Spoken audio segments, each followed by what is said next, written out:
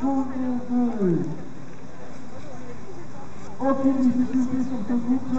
Attention à la bande numéro 1, s'il vous plaît. Et c'est parti. Ils viennent de s'élancer. Bonne route à eux. C'est le 19. Jasmine Galido, Popcorn du Mordant. On peut les encourager, tous ces jeunes cavaliers qui viennent filer sur le terrain de Washington. Les deux premiers obstacles sont bien franchis par euh, Jasmine et Popcorn du Mordant. Donc toujours l'observation en piste.